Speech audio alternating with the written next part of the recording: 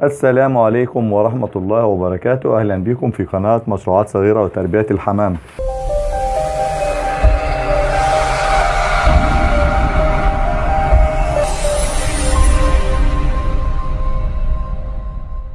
آه، موضوع فيديو النهاردة إزاي هنراعي الزغاليل وهي من عمر يوم؟ أو أنا بعمل إيه؟ أقول لك أنا بعمل إيه من عمر يوم؟ مثلا هنقول حتى الفطام. إحنا معانا دول 14 زغلول أعمار مختلفة فيهم من عمر يوم حتى عمر أسبوعين. أهو. طيب أنا آه، نبدأ بأصغر حاجة ونقول لك نعمل إيه؟ نبتدي مع بعض من أول يوم في عمر الزغلول. يعني لو حضرتك لقيت زغلول ضعيف بتعمل إيه؟ بتتعامل إزاي؟ يعني أنا هفترض إن فيهم زغاليل ضعيفة. فلنفرض اللي هو عمر يوم ده عايز ياكل بنعمل إيه؟ معاه كيس حليب كيس حليب نيدو أو اللي هو مسحوق الحليب. مسحوق الحليب. هنجيب معلقة صغيرة زي كده ونضيف عليها حبة مية دافية ونوريكم إزاي. آه، حطينا المية الدافية على الحليب وهنبتدي نقلب تقليبا جيدا أهو لحد ما يبقى كأنك أنت حضرتك هتشرب كوباية حليب. بالظبط أهو. أو هتسقي طفلك الرضعة بتاعته. بقى اصبح حليب أهو تمام. شوف حضرتك قطرات. ومعانا السرنجة اللي فيها الخرطوم ده بقول لك تعمله إزاي؟ نسحب منها. تمام أهو سحبنا. ونأتي للزغلول الضعيف اللي هو أصغر زغلول عندنا. لو إحنا شايفين إن هو محتاج ندخل حضرتك السن ال- ال- الخرطوم ده. حلق الزغلول. اهو. وناتيه ولو جزء بسيط كده. نقول إن هو الزغلول. شبع. شوف واحد تاني. فلنفرض ده. الزغلول اللي هو لسه اللي بيسموه زغلول اللبا لسه بياخد من أمه الأكل اللي هو زي الحليب ده الطري ده. بنعطيه إحنا الحليب ده بنساعد معاها. لو في زغلول ضعيف اهو الخرطوم دخل كله واهو تمام. سرنجة فضت. يبقى دي أول حاجة بنعملها للزغاليل اللي هي آه، لسه بتاخد اللبن نقول ده مثلا كمان اللي هو الزغلول الصغير ده الزغاليل الاكبر لها حاجة تانية. كده هاتنا كل واحد. تأتيه حضرتك على قد ما هو محتاج. على قد ما هو محتاج يعني لو كبير شوية أعطيه أكتر. لو صغير لحد ما حصلت الزغلول تتملي قدامك. أهو. تمام؟ ما تخافش من الخرطوم ما بيعملش حاجة في الزغلول. طيب لو معانا عمر أكبر أنا معايا الميكس اللي أنا عامله. هو عبارة عن طحين عدة حبوب الحبوب العادية اللي آه، بنأكل منها الحمام. أنا محمصها لكن هي حبوب مقشرة. آه، محمصها وطحينها وبعدين هضيف عليها المية. تضيف عليها مية أربع أضعاف يعني حطيت معلقة زي دي أحط عليها أربع معالق مية. طيب نضيف المية ونرجع لكم. بعد ما ضفنا على المسحوق بتاعنا أصبح هكذا. حضرتك المطحون بتاع الحبوب. طيب أنا هستخدم إيه؟ هستخدم أشهر زغاطة على اليوتيوب. أشهر زغاطة حضرتك على اليوتيوب اللي هي السرنجة دي. اللي أنا عملتها الفيديو الأشهر هتجد اكتب كده زغاطة زغيل الحمام هتجد أشهر زغاطة على اليوتيوب اللي هي السرنجة دي. اكتب زغاطة زغيل الحمام أول حاجة هتظهر لك هي دي. تمام؟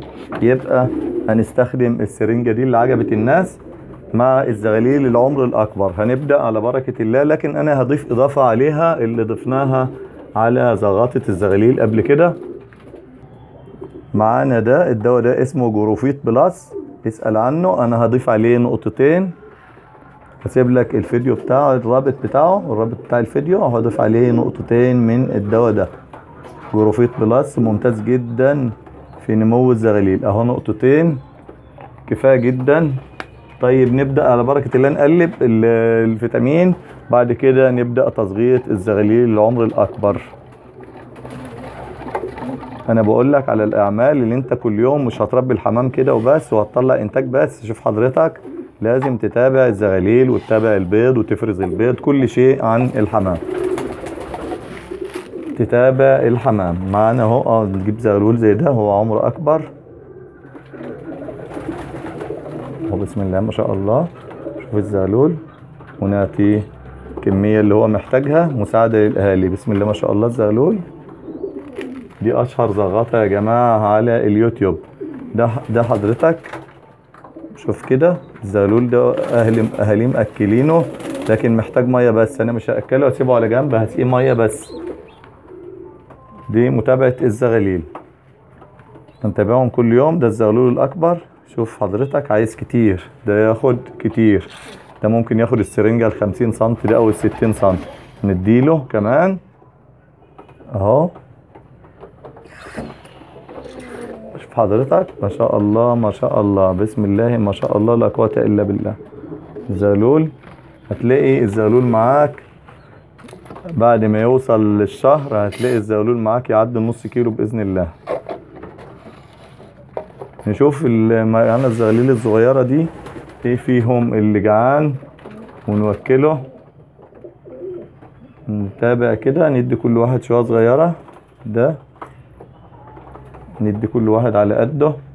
زي ما قلنا هما 14 زغلول دول هنتابعهم ونشوف حتى الفطام.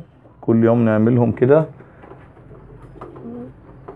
اللي مش محتاج مش هنعمل له حاجة يا جماعة. يعني عشان ما تقولش انت ليه ما بتسيبهمش للأهالي إحنا بنساعد بس وبنرجعهم تاني لأهاليهم. يعني محدش يفتكر ان إحنا بنسيبهم كده معانا. لا هنرجعهم تاني لأهاليهم.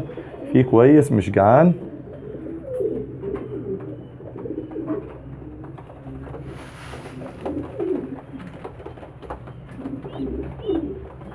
نات ده شوية وده شوية كمان. أهو ده جعان فعلا.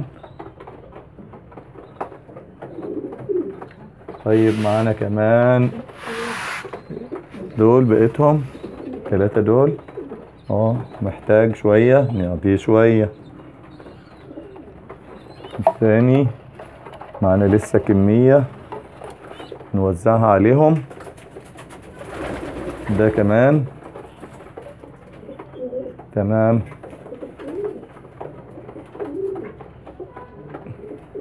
تمام كده. يبقى زغطنا الزغاليل. طيب نعمل إيه تاني في متابعة الزغاليل؟ كل يوم هنشوفهم. دي الزغاليل دي أنا ما أعطيتش أي حاجة فيهم الفلاجيل. حضرتك عارف إن أنا بعطي الفلاجيل من اليوم الثامن والتاسع والعاشر. فلاجيل أو أمريزول. معانا معانا أمريزول النهارده. ركز معايا في النقطة دي تمام كده؟ ركز معايا كويس جدا. هنفتح الإزازة وهناتي الزغلول الصغير سنتي. الزغيل ما خدتش فلاجيل فالمفروض الطبيعي إن أنا بعطي في ال- في اليوم الثامن والتاسع والعاشر. لكن علشان أنا ما اعطيتش دول فأنا اعطيهم كلهم مع بعض في وقت واحد. لكن هندي كل واحد على حسب العمر. يعني هنيجي الزغلول الكبير ده نعطيه سنتي. سنتي والزغلول اللي زيه سنتي أكبر زغلول. أهو معايا أكبر زغلول هعطيه برضو سنتي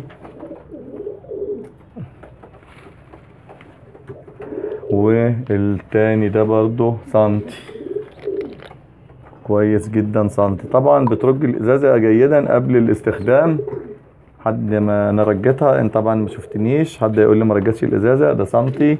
كل الكبير اللي زي ده أعطيه سنتي. الأصغر اللي هو من 8 أيام اللي لسه بادئ فيه لون الريش أعطيه نص سنتي. طبعا هي السرنجة دي 3 سنتي فأنا بعطي كده نظريا. أهو. ونعطي الحجم الأصغر. لسه ما تمشيش. لسه في حاجات تانية هنعملها.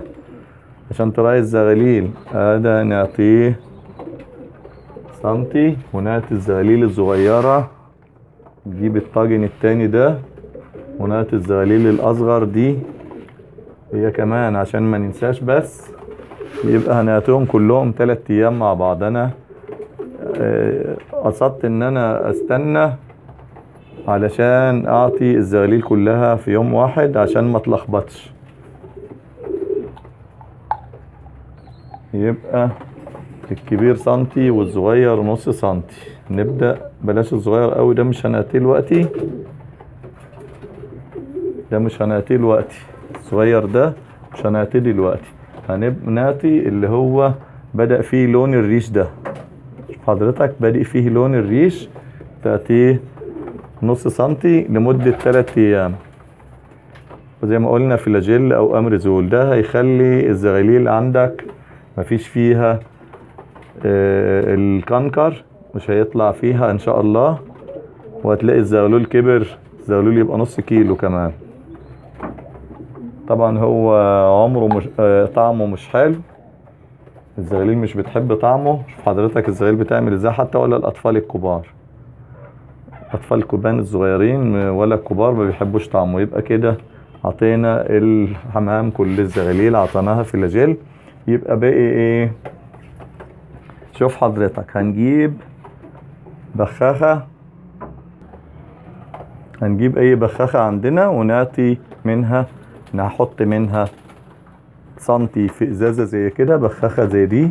أو أي بخاخة عند حضرتك حط سنتي من إفريزين أو اوكسومسرين سنتي على أربعة سنتي مية وتبدأ ترش بيه الزغاليل نجيب الكبير ده أهو نرش إزاي نوري لحضرتك إزاي. هتمسك هتخبي دماغ الزغاليل وترش جسم الزغاليل كده.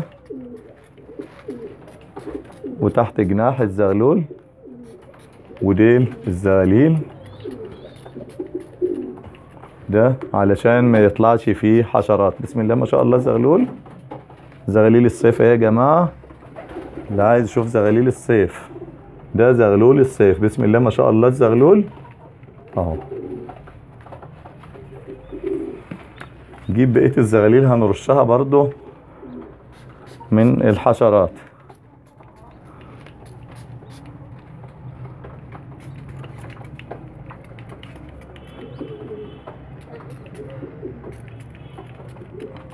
رشينا الزغاليل من الحشرات.